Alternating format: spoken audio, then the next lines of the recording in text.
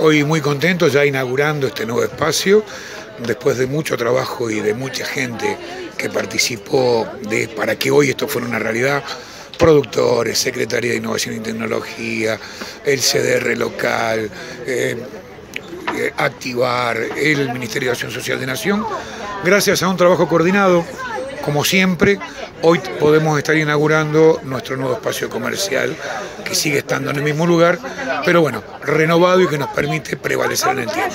Gustavo, algo que decías vos porque hicimos en la nota anterior, diciendo que eh, mucha inclemencia del clima, o sea, pasa invierno, pasa nieve, pasa lluvia, pasa viento y eso, quiera o no, va destruyendo la, carpa. Sí, sí, por supuesto, la, lona lleva un deterioro a través de los años.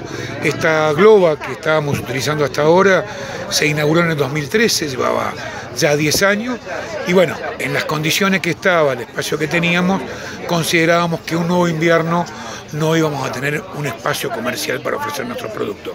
Estas nuevas lonas, eh, hecho en un trabajo en conjunto con el municipio, con eh, Activar, con el Ministerio de Acción Social de Nación, hoy gracias al Ministerio, a un Estado presente anterior, eh, hoy tenemos la disponibilidad de estas lonas.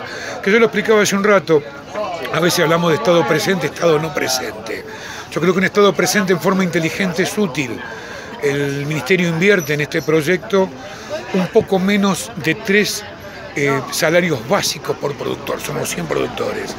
Eso hace prevalecer el trabajo de 100 familias que no piden subsidios, que salen a buscarse el mango todos los días en este espacio. 100 familias que laburan, que ponen el cuerpo, que tributan sus impuestos, que pagan el consumo que tienen sobre este espacio. Esta es una feria autogestiva.